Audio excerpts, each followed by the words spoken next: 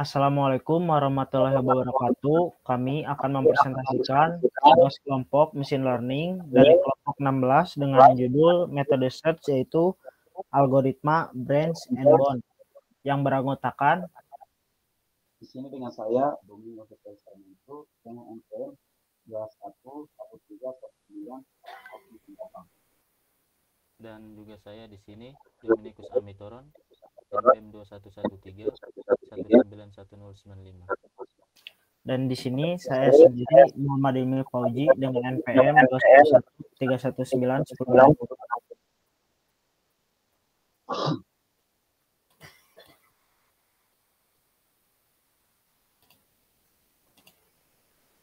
Algoritma branch and bond uh, selanjutnya akan dibacakan oleh Domingos Dutin Sarmento. Baik, di sini ada penjelasan metode ini adalah sebuah metode pencarian guna menemukan data atau informasi yang sedang dicari di dalam sebuah kumpulan data yang memiliki tipe data sama. Pencarian diperlukan untuk mendapatkan informasi atau data dari kumpulan data yang belum diketahui.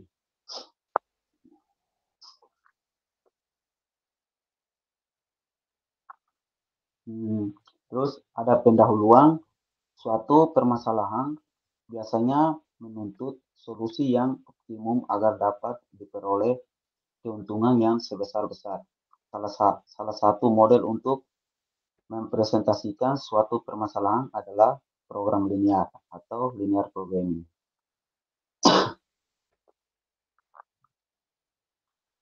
Dan di sini ada dua jenis program linear. Yang pertama itu integer programming. Programming linear dengan variabel bertipe integer. Dan yang kedua ada non-integer programming. Programming linear dengan variabel bertipe non-integer, misal bilangan real.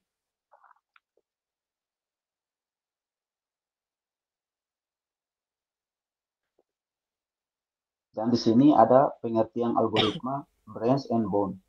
Metode algoritma umum untuk mencari solusi optimal dari berbagai permasalahan optimasi, terutama untuk optimasi diskrit dan kombinatorial Sebagaimana pada algoritma runut balik, algoritma branch and bound juga merupakan metode pencarian di dalam ruang solusi secara sistematis.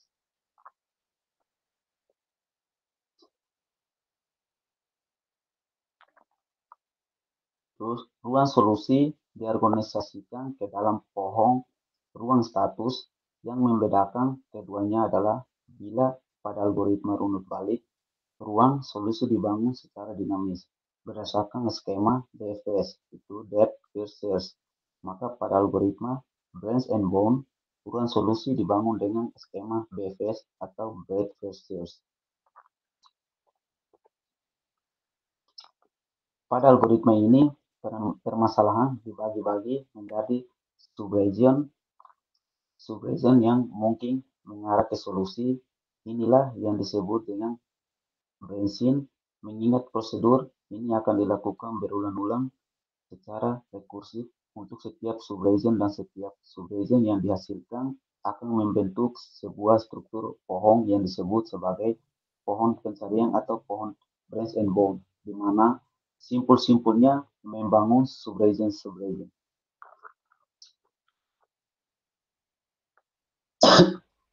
Aplikasi algoritma branch and bone dalam penyelesaian Baik, terima kasih kepada uh, Domingos Dotel Sarmento. Selanjutnya akan dibacakan oleh Dominikus Amitoron, yaitu aplikasi algoritma branch and bond dalam penyelesaian integer, integer programming. Oke, sekarang saya akan melanjutkan presentasinya. Di sini ada integer programming. Jadi integer programming merupakan sebuah program linear atau biasa disebut linear programming, di mana variabel-variabelnya bertipe integer. Kemudian integer programming ini digunakan untuk memodelkan permasalahan yang variabel-variabelnya tidak mungkin berupa bilangan yang tidak bulat seperti bilangan real jadi seperti variabel yang mempresentasikan jumlah orang karena jumlah orang pasti bulat dan tidak mungkin berupa pecahan.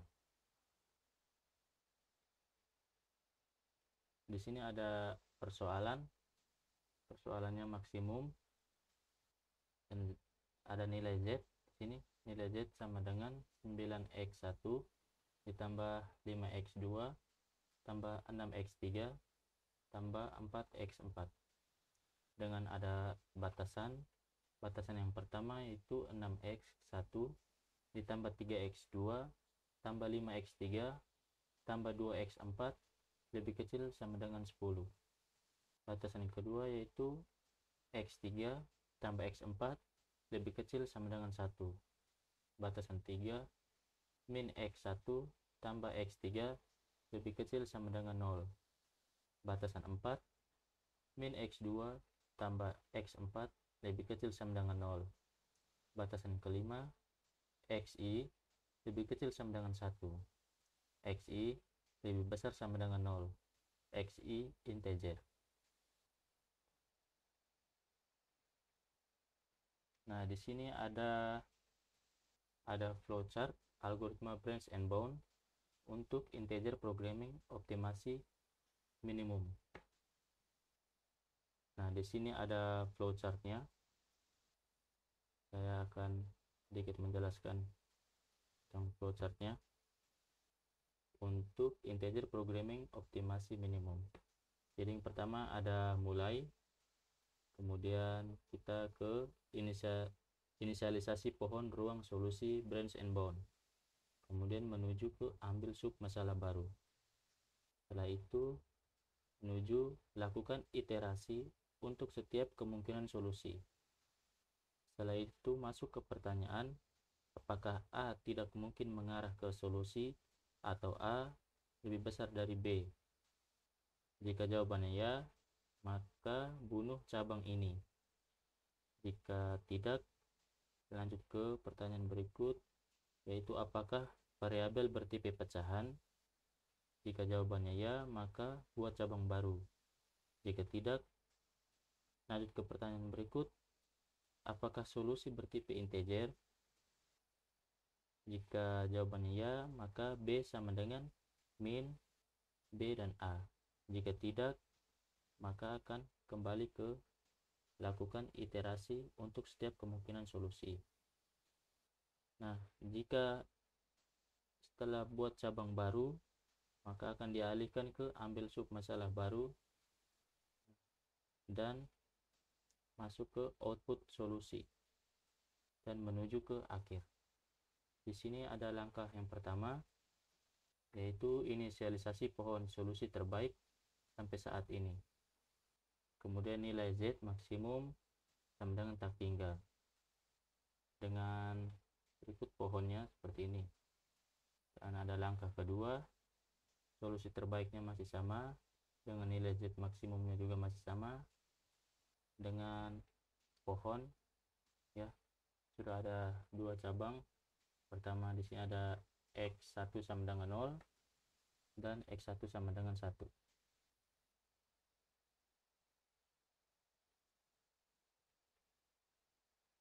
Nah, kemudian ini ada juga flowchart algoritma branch and bound untuk integer programming optimasi maksimum. Untuk flowchartnya masih serupa dengan yang optimasi minimum, cuman yang membedakan yaitu B sama dengan max B dan A. Hanya itu yang membedakan. Dan berikut ada langkah yang ketiga. Solusi terbaik sampai saat ini masih kosong dan nilai Z maksimum masih tak tinggal. Di sini ada keterangan iterasi anak kiri arah satu. Jadi di sini anak kiri aras yang pertama sudah ditandai yaitu X1 sama dengan 0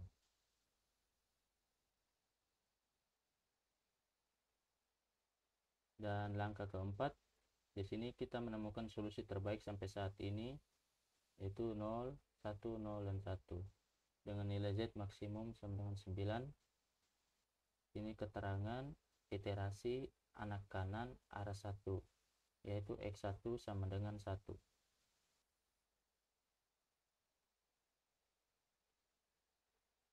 pada langkah kelima solusi terbaik juga masih sama dan nilai Z maksimum juga masih sama.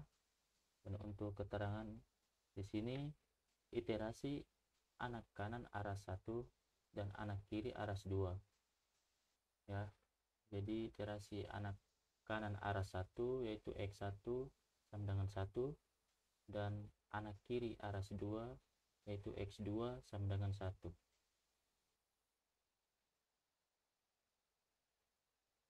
pada langkah ke-6 ini solusi terbaik sampai saat ini juga masih sama dan nilai Z maksimum juga masih sama.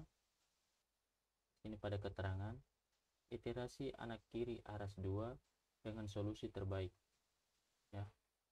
Jadi anak kiri di aras 2 dengan solusi terbaik yaitu X2 sama dengan 1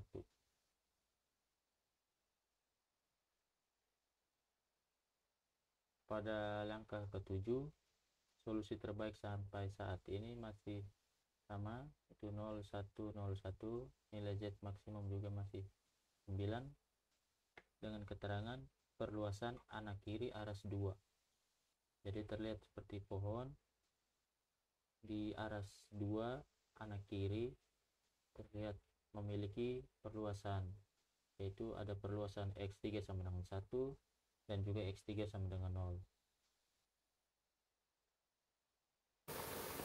Terima kasih kepada Dominikus Amitoron. Selanjutnya di sini saya akan membacakan presentasi selanjutnya. Nah, di sini ada langkah ke-8. Solusi terbaik sampai saat ini adalah 0, 1, 0, 1. Dengan nilai Z maksimum sama dengan 9. Keterangannya adalah iterasi anak kiri aras 3 dengan pohon, X1 sama dengan 0, X2 sama dengan 1, X3 sama dengan 1. Nah, selanjutnya langkah 9 adalah solusi terbaik sampai saat ini 01 01 nilai Z maksimum 9 dengan keterangan sama dengan bunuh anak kiri aras 3 karena tidak mungkin mengarah ke solusi yang di mana melanggar batasan kedua pohon e, batasan kedua dan 4 pada pohon sebagai berikut. 2 yaitu X3 tambah X4 lebih besar sama dengan 1. Lebih kecil maksudnya sama dengan 1. Selanjutnya eh, 4 pada 4 ini min X2 ditambah X4 lebih kecil sama dengan 0. pada langkah ke-10 ini adalah solusi pada langkah ke-11 ini yaitu solusi terbaik. Nah, pada langkah 11 ini solusi terbaik sampai saat ini yaitu 1 1 0 0 dengan nilai Z maksimum dengan 14 keterangannya adalah perluasan anak aras anak kanan aras 3 dan iterasi anak kiri aras 4 itu dengan ini dengan aras 4 aras di kiri anak kiri lalu di sini kanan aras 3 dengan ini 3 X1 dengan anak aras anak kanan aras anak aras 4 di kiri yaitu X1 sama dengan 0 lalu X2 sama dengan 1 dilanjut dengan X3 sama dengan 1 X4 sama dengan 0. Lalu dilanjutkan dengan e, perluasan anak kanan aras 3 yaitu dalam kurung ini dalam kurung kurawa lalu X1 sama dengan 1, X2 sama dengan 0, e, lanjut X3 sama dengan 0, dilanjut dengan X4 sama dengan 1. Nah, pada langkah ke-12 ini, solusi terbaik sampai saat ini adalah 1, 1, 0, 0 dengan nilai Z maksimum sama dengan 14. Keterangannya adalah bunuh anak kanan aras 4 karena tidak mungkin mengarah ke solusi melanggar batasan ke satu. Nah, nah eh, aras 4 ini yaitu S2 sama dengan 1, lanjut di S3 sama dengan 1, S4 sama dengan 0, dilanjut S3 sama dengan 0. Nah, ini adalah batasan e, melanggar batasan ke satunya. Nah, lalu tidak bisa mungkin mengarah kepada solusi yaitu melanggar batasan ke pohon satu ini. Selanjutnya adalah 6x1 ditambah 3x2 tambah 5x3 tambah 2x3 lebih kecil sama dengan 10. Nah, selanjutnya adalah langkah ke-13. Solusi terbaik sampai saat ini adalah 1100 nilai jet maksimum adalah 14. Keterangannya adalah bunuh anak kanan aras 2 karena jika anak kanan anak kanan aras 4 dibunuh, aras 2 tidak mungkin mengarah pada solusi dengan pohon ini adalah setelah menjalani berbagai langkah diperoleh solusi optimal dari permasalahan di atas yaitu solusinya adalah 1 1 0 0 dengan nilai Z maksimum dengan 14. Nah, kelemahan dari algoritma ini eh, yaitu salah satunya adalah algoritma ini tetap menghitung kemungkinan solusi dengan tipe variabel bilangan real Walaupun pada akhirnya kemungkinan solusi ini tidak akan dipertimbangkan, tetapi hal ini menyebabkan waktu komputasi bertambah lama. Nah, dengan penjelasan ini, yaitu kita dapat melihat eh, kelemahan dari algoritma bridge and bond ini pada eh, implementasi tadi ke implementasi programming integer. Nah, pada implementasi aplikasi algoritma branch and bond ini untuk menyelesaikan integer programming. Jadi yang sudah dijelaskan tadi itu eh, salah satu studi kasusnya adalah aplikasi algoritma branch and bond untuk menyelesaikan integer, integer dalam programming. Nah, kesimpulannya nah, kesimpulannya adalah algoritma branch and bond ini cukup efektif untuk menyelesaikan integer programming dengan salah satu langkahnya yang tidak akan memperluas akan membunuh simpulnya yang tidak mungkin mengarah kepada solusi. Lalu algoritma ini menjadi algoritma yang cukup efisien untuk menyelesaikan integer programming ya. Jadi kesimpulannya eh, kalau menurut pandang saya dan juga berdasarkan presentasi yang di atas eh, bisa dibilang branch and bond ini cukup efektif untuk menyelesaikan masalah-masalah yang ada pada integer programming dengan salah satunya langkah yaitu memperluas dan lalu di sini akan membunuh simpulnya mungkin mengarah juga pada solusi. Nah, algoritma ini juga dipakai dalam penyesal pemecahan masalah metode search-nya yaitu cukup efisien untuk menyelesaikan integer programmingnya. Nah, eh, sekian dari kelompok kami dengan Dominikus Amitoron, Domingus Dotel Sarmento, dan juga saya eh, mohon maaf bila ada kekurangan dalam presentasi kami, kesalahan dalam pembacaan ataupun eh, dalam penyampaiannya. Kami mohon maaf dengan sebesar-besarnya. Wassalamualaikum warahmatullahi wabarakatuh.